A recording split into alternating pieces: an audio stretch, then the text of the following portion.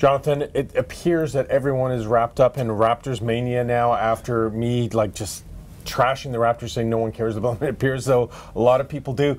But I'm left to wonder, Jonathan, where did all the Blue Jays fans go? I'm not seeing a lot of hats out there.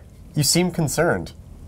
Uh, I'm skeptical, I'm cynical, I'm pissed off, but I'm not concerned. Okay, well, look, first of all, I mean, obviously, last year was a huge resurgence for the Jays, Canada's team.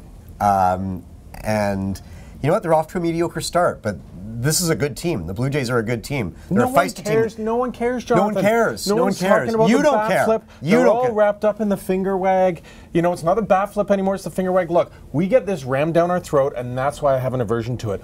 We used to get the Mariners on TV. We don't get the Mariners on TV anymore. Why? Because the network that used to show us the Mariners own the Blue Jays.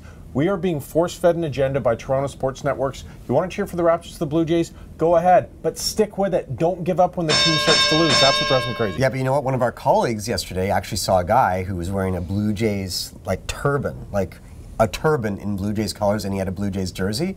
So don't tell me the Blue Jays fans aren't out there. You're wearing Blue Jays colors today.